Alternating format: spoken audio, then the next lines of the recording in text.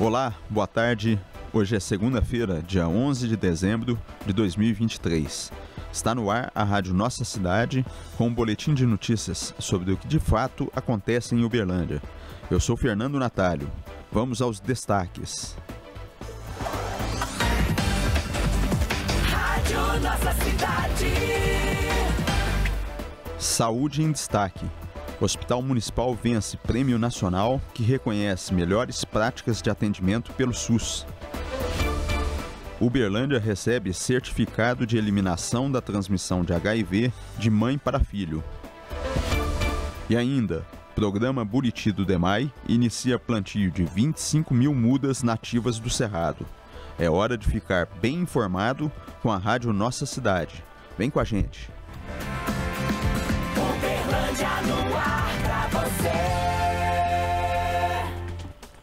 Único representante de hospitais públicos de Minas Gerais, o Hospital e Maternidade Municipal Dr. Odelmo Leão Carneiro recebeu na última sexta-feira, dia 8, o prêmio Criação SUS 2023. A conquista veio na categoria Atenção Hospitalar Exclusivo SUS, com o projeto Linha de Cuidado a Pacientes Idosos com Fratura de Fêmur. A premiação ocorreu durante solenidade em Brasília. Inaugurado há 13 anos pelo prefeito Odelmo Leão, o Hospital Municipal estava entre os 15 finalistas do Prêmio Criação SUS 2023, sendo que na categoria Atenção Hospitalar Exclusivo SUS disputava com Goiânia e Fortaleza. Ao todo, foram inscritos cerca de 400 trabalhos de todo o país. A premiação é idealizada pelo Instituto Brasileiro das Organizações Sociais de Saúde, em parceria com o Instituto Ética Saúde, o Conselho Nacional de Secretários de Saúde e o Conselho Nacional de Secretários Municipais de Saúde.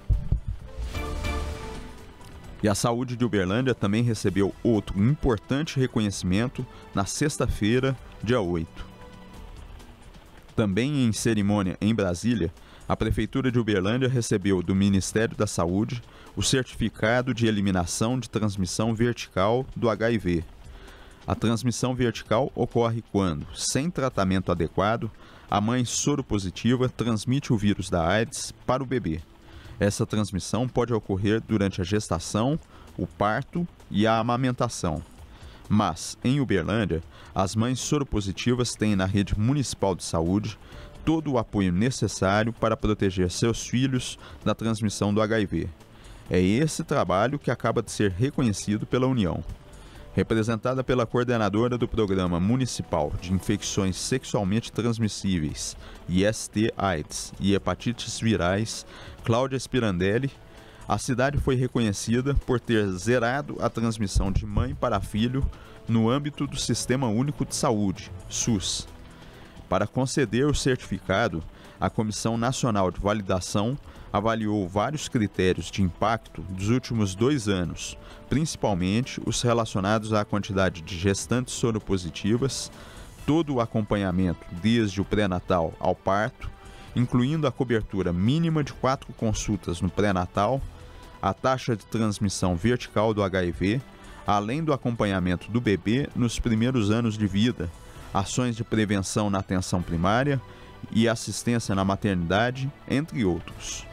A análise também contou com visita às unidades de saúde em setembro deste ano. Vamos agora a um breve intervalo. Na volta, tem giro de notícias. Mais uma boa notícia para a saúde de Uberlândia. A ampliação do Hospital Municipal está quase pronta. Esta é a nova área de obstetrícia para realização de partos. A ala da família já está pronta. Os equipamentos já foram comprados e o novo tomógrafo será instalado. E aqui na Wild Resort, as obras de reforma e ampliação também avançam, com duas enfermarias e outras melhorias concluídas. Giro de notícias. Programação de Natal. A Secretaria Municipal de Cultura e Turismo realiza no próximo sábado, dia 16, o Encontro Cultural de Folia de Reis. Seis companhias estão confirmadas para a apresentação, que começa às 14 horas. A entrada é gratuita. Com, com o objetivo de recuperar nascentes, garantindo que não falte água suficiente e de qualidade para abastecer Uberlândia e as atividades rurais, o programa Buriti, do Departamento Municipal de Água e Esgoto, o DEMAI, iniciou a temporada de plantio de 25 mil mudas nativas. A ação é parte do programa Buriti e será realizada em 10 propriedades rurais parceiras, dentre elas o Campo de Instrução e Adestramento Sargento Orlando Randi, do 36º Batalhão de Infantaria Mecanizada. Além do plantio das mudas, o programa Buriti atua no cercamento de áreas de proteção permanentes. Em 2023, a iniciativa instalou mais de 20 mil metros lineares de cerca com a intenção de realizar a manutenção do recurso natural já existente em Uberlândia.